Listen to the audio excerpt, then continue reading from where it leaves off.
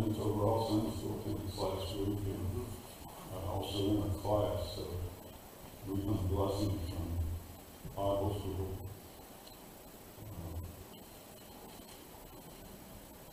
So today's lesson, on chapter three in the book of Hebrews.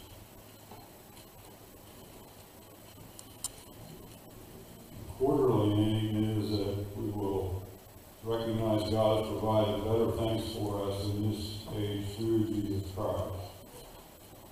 Today's lesson is a better relationship. You know, you probably already noticed in your uh, study guide that uh, each lesson is a better something, and that's what Hebrews is all about.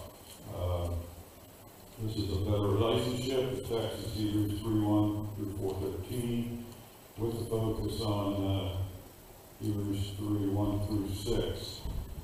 Uh, I know that we only had six verses to get through, so I'll probably manage them in taking the whole time.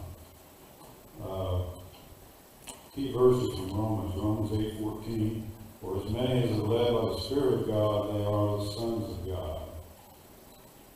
And the application for today's lesson, we will conclude that following Jesus Christ is better than following the servant of God, Moses. So just a few things by way of introduction. Jumping into Hebrews after on the third lesson, I found it a little bit difficult, so I had to go back and do a quick review of the other two lessons. Chapter one was called A Better Message. It points where Jesus